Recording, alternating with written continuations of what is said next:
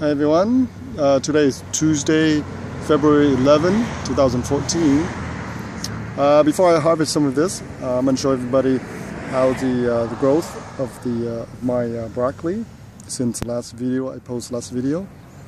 And as you recall, um, I actually cut off the top part when the flower heads here, here you go, right there, that's the first cut and I, would say that uh, once I cut it off, well, well the plant reproduce uh, some flower heads.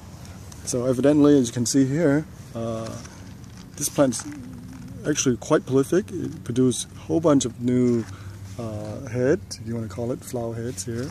So all from the side, you can see here, look at that.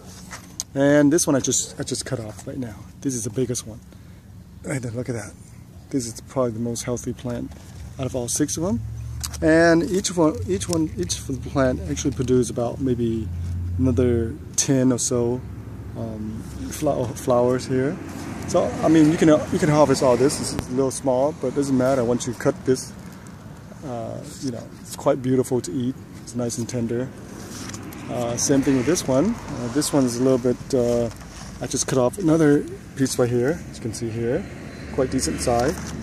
Uh, this one has a bit of infest here of uh, aphids, so I'll probably try to remove them. Uh, I'm to use some water to spray them off.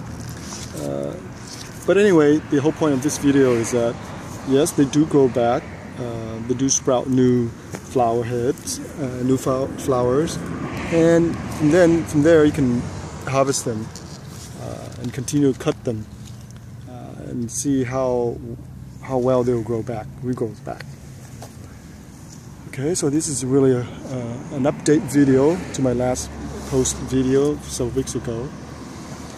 So today, uh, I'm gonna harvest some of this today, and and see how how much longer I can uh, stretch them out. This is one of the nice plants here. Look at that. This is almost 10 different uh, growth points here. Look at this. Beautiful. Such a beautiful. Okay, let me pause this video and let me cut off some of this stuff. Okay, and there you have it. Uh, I have a full basket of uh, all the broccoli flowers here.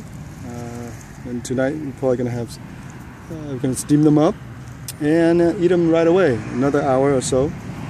So, uh, well, thank you for watching and please post your comments on the bottom of the video. And I appreciate you guys watching and thank you.